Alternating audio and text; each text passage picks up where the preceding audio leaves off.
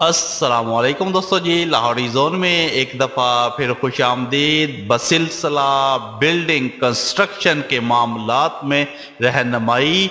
आज का हमारा टॉपिक होगा कि आजकल ज़मीन का जो रकबा है, उसको नापते वक्त सबसे अहम लफ्ज़ जो इस्तेमाल होता है, उसे मरला कहते हैं। लेकिन मरले के अंदर इतनी ज़्यादा कंफ्यूजन हो चुकी है, क्योंकि एक मरला जो होता है, वो दो मुरबा फुट का कहलाता है। कहीं पर 250 मुरबा फुट का कहलाता है और कहीं पर 240 मुरबा फुट का कहलाता है, और कहीं पर तो 225 मुरबा फुट का भी एक मरला जो है, वो कहलाता है। तो इसके अंदर एक्चुअली सारा ड्रामा क्या है, उसके बारे में आज आपको मुकम्मल इंफॉर्मेशन जो है, वो प्रोवाइड की जाएगी। असल मरला जो है, वो दो सौ बहत्तर पॉइंट ट्वेंटी फाइव मुरबा फुट ही है। यानी कि जो असल मुरबा फुट या असल मरला कहलाता है, वो दो सौ बहत्तर point twenty four, twenty five जो है मुरबा फुट कहलाता है।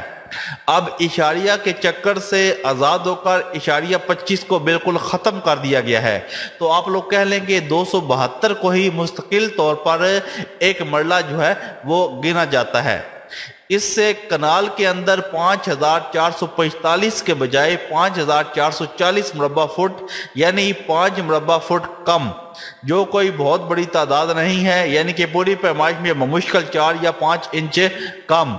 अब बात करते हैं 250 फुट की बात सुने। जो रकबा आपको वरासती है, वो तो आपको दो सौ बहत्तर ही पैमाइश होगा। यानी कि आपको मुकम्मल तौर पर दो सौ बहत्तर मुरबा फुट जो है, वो मिलेगा। लेकिन जब आप लोग कॉलोनी स्कीम में ज़मीन खरीदेंगे, तब गली, मस्जिद, स्कूल वगैरह का रकबा जो है, वो पूरी स्कीम के अंदर प्लाट पर तकसीम किया जाएगा। मसलन एक स्कीम जो होती है, वो सौ कनाल की है। उसके 400 प्लाट्स बनाने हैं। मगर पाँच मरले मस्जिद, एक कनाल, दस मरले सड़क, पाँच मरले डिस्पेंसरी को देने हैं, बाकी बच गया 98 कनाल। सौ कनाल अगर 400 पर तकसीम कर दें तो पाँच मरले का प्लाट बनता है, लेकिन जब अठानवे कनाल को 400 पर तकसीम करेंगे तो फ़ी प्लाट तीन सरसाई कमी के बाद चार मरले दो फुट जो है वो रह जाएगा।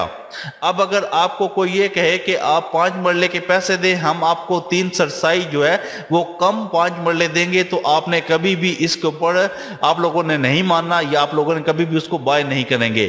तो इसका तोड़ ये है कि आपके मरले की तादाद ही घटा दी गई है।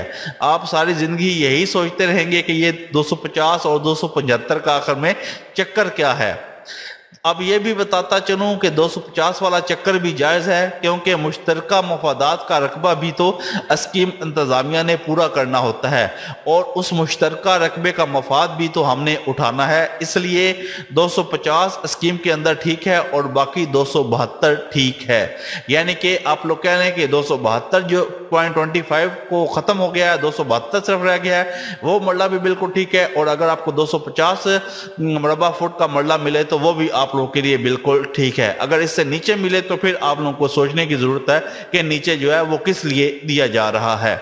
आई होप आपको ये जो टेक्निकल वीडियो थी, इसकी समझ आ गई होगी, और आप लोग इनशाला इस वीडियो को शेयर भी करेंगे ताकि ये इन्फॉर्मेशन जो है बाकी लोगों को भी मिल जाए।